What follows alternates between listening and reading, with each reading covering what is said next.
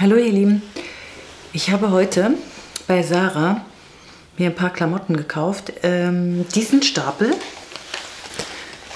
und das Teil, was ich hier anhabe, für insgesamt 85 Euro. Eigentlich sind es Oberteile, 1, 2, 3, 4, 5, 6 Oberteile und eine Hose. Also beginnen wir jetzt mal mit den Oberteilen. Das sind solche Stretch-Oberteile. Ich mag solche Oberteile ganz gerne unter einem Bläser, wie jetzt hier. Ne? Unter einem Bläser anziehen oder unter einer Strickjacke. Das ist jetzt äh, aus Elastan und Polyamid in einer Farbe, die echt der Hammer ist. Ich weiß nicht, ob sie mir steht, aber für den Preis 7,95 Euro konnte ich nicht widerstehen. Ich weiß nicht, ob das also ein Senfgelb oder irgendwie in der Kamera sieht es heller aus. Oder Safran, nee, Safran, oder doch Safran oder Sanddorn. Also das Schöne an diesen Oberteilen ist, wie gesagt, dieser Stretch-Anteil. Und dann ist über der Brust hier ist dann noch so ein Teil. Also das ist so eine Verstärkung, kann man also auch ohne BH anziehen. Also habe ich gekauft in diesem Gelb. Einmal blau-weiß gestreift. Fand ich total cool. Zu einer weißen Hose. Wenn man im Norden unterwegs ist oder man kann, jetzt wird es auch noch dunkel, oder auch so im Sommer gestreift ist ja total up to date. Ich kann euch ja mal die Passform zeigen. Ich stehe jetzt mal auf und zeige euch das mal. Also das ist wirklich, jetzt halte ich in meinen Oberkörper in die Kamera. Das sitzt ganz toll. Ich habe M gekauft, damit es nicht ganz so eng ist. Und ähm, ja, passt doch hier sehr schön. Also für 7,95 Euro, sorry, da kann man echt, das kann man äh, eigentlich gar keinem erzählen. Ich bin total überrascht, weil ich habe auch solche ähnlichen Oberteile von anderen Firma, da sind die bedeutend teurer. Deshalb habe ich mich total gefreut, als ich diese Teile bei Sarah habe hängen sehen. Dann noch zwei Hemdchen, die haben, das ist ein sehr schöner, durchwirkter, so ein löchriger Stoff. Es ist Baumwolle mit Knöpfchen. Finde ich, sieht toll aus unter einem karierten Hemd oder auch unter einem Blazer in schwarz und in, das ist nicht ganz weiß, so cremefarben.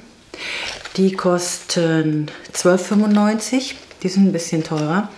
Und ich habe es noch in anderen Farben, in so einem, das war so ein, hm, wie nennt man das, so, ein, so eine Signalfarbe, so ein grün-gelb, also so ein richtiges, so ein Neongelb war das. Also das ging leider nicht. Dann habe ich noch ein ganz normales T-Shirt gekauft, was keine Farbe ist, in diesem Puderton, in so einer A-Form mit einem tiefen V-Ausschnitt und so einem schrägen Ärmel. Also dass der Ärmel nicht hier so, ne, so eng am Arm sitzt. Kostet, die gibt es in weiß, in schwarz und in diesem Puderton für 5,95 Euro ist Baumwolle. Und dann habe ich noch eine Hose gekauft. Und diese Hose, das ist das Bündchen oben, Gehört zu Sarah Basics. So eine karierte Hose, wie so eine Art Anzugsstoffhose, wie, das, wie man das jetzt trägt. Endet oberhalb vom Knöchel, sieht toll aus mit Ballerinas. Oder auch mit einem High Heel oder mit einer Stiefelette. Wird vorne, ich habe mir eine Nummer größer genommen, M, dass es ein bisschen hüftiger sitzt. Ich mag das, wenn es so hüftig locker sitzt. Hat hier hinten so eine Art Gummizug was ich auch sehr schön finde, sind die seitlichen Taschen. Hinten hat sie auch nochmal zwei Gesäßtaschen und Reißverschluss und so einen Knopf hier. Ne? So wie so Anzugshosen mit so einem, also hier ist ein Knöpfchen und dann so eine, so eine Schlinge. Diese Hose kostet, gehört auch zu Sarah Basics, kostet 29,95 Euro. Dann war ich noch bei Götz und habe ein paar Schuhe gekauft von äh, der Hausmarke Götz. Äh, Another heißen die. Another. Und zwar geht es um diesen Schuh. Das ist eine Pantolette aus Wildleder.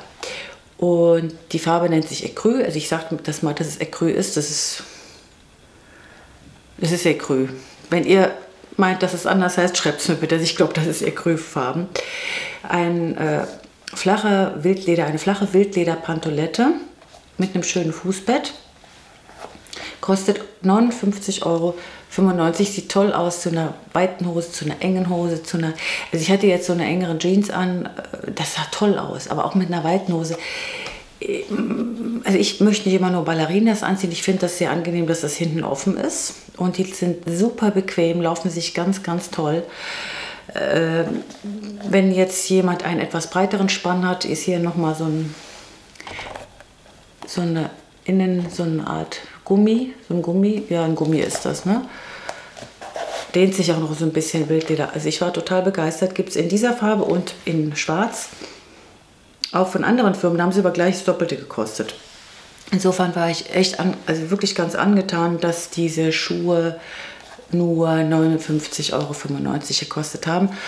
Und da ist man auf jeden Fall mit angezogen. Also ich möchte nicht immer nur in Ballerinas oder in, in, in Sneakers rumlaufen und auch nicht immer in hohen Schuhen.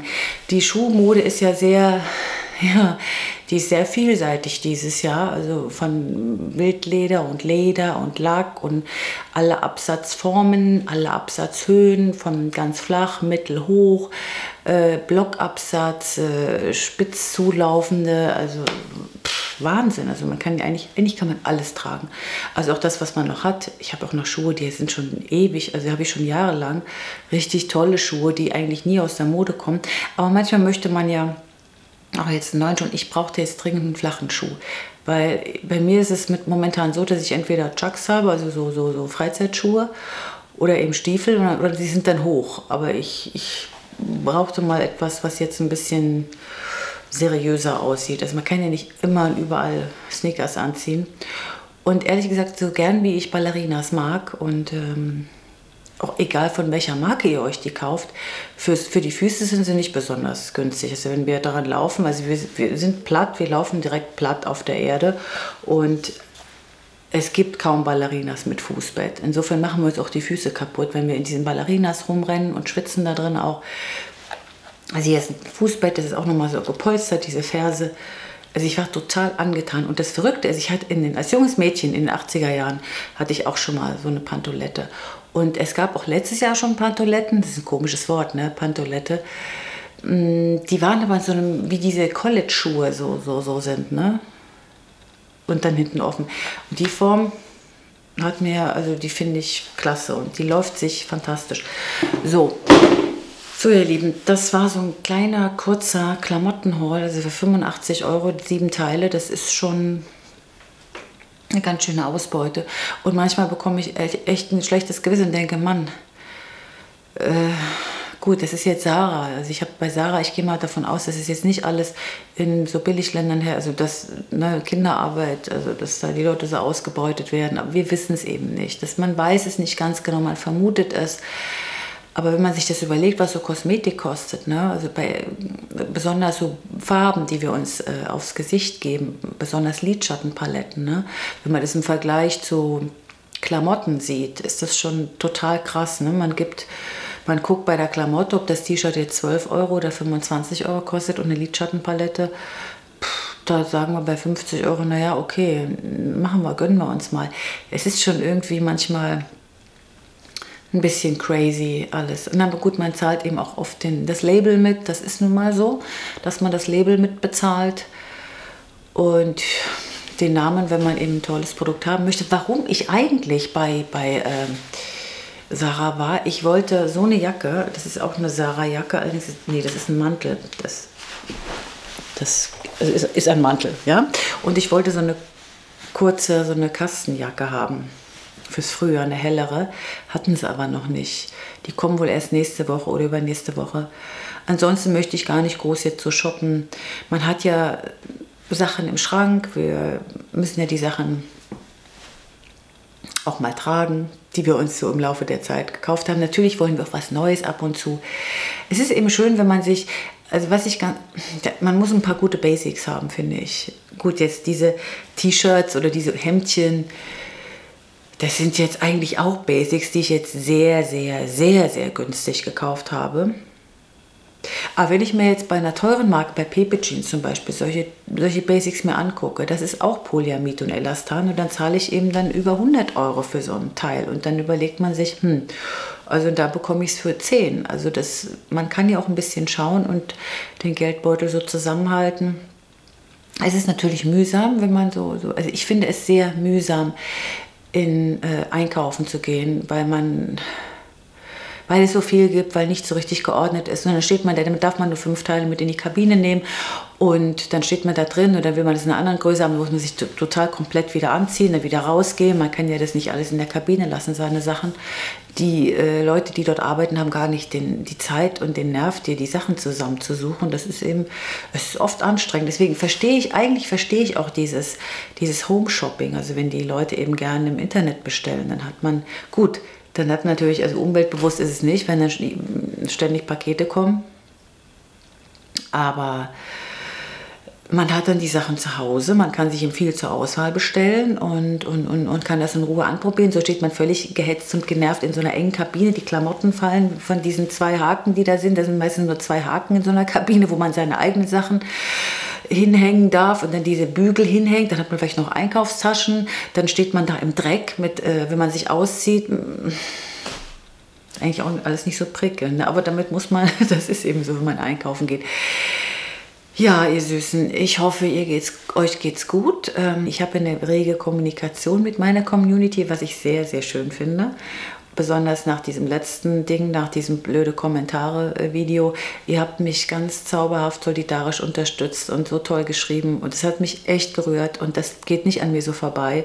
Das äh, hat mich wirklich gerührt und sehr gefreut, dass ich ja so tolle Frauen auf meinem Kanal habe und äh, irgendwie ist das doch im Leben so, dass man dass sich so bestimmte Leute einfach, die, die kommen zusammen, die finden sich einfach, was so zueinander passt. Und das macht mich doch sehr, sehr glücklich. Ich habe zwar also 50, aber ich habe auch jüngere Frauen dabei und das freut mich sehr. Und ich bedanke mich, möchte mich einfach nochmal bei euch bedanken, dass ich das ganz toll fand, wie ihr so hinter mir gestanden habt und äh, mir gesagt habt, Mensch, ärger dich nicht. Das ist, das ist schon schön, wenn dann jemand, und wenn es nur so schriftlich so, hey, auf die Schulter gehauen, jetzt ärger dich mal nicht, ist alles okay mit dir. War schon schön. In diesem Sinne, ihr Süßen, wünsche ich euch wie immer alles Liebe, alles Gute und seid besonders gut zu euch. Und guckt mal nach in eurem Kleiderschrank, was da so. Ich musste auch noch mal. Ich, ich bin jetzt ständig am Aussortieren. Äh, ich, ich horte nicht so viel, aber man hat trotzdem Sachen, wo man immer denkt, Mensch, jetzt hängt das da immer noch. Ich ziehe das eigentlich nicht an. Man kann sich aber nicht trennen und man sollte es aber eigentlich machen. Wenn es weg ist, ist es weg, dann sieht man es nicht mehr und ärgert sich nicht. Und man schafft Platz für Neues. Anyway. Ich wünsche euch, wie gesagt, das Beste und bis bald. Ciao.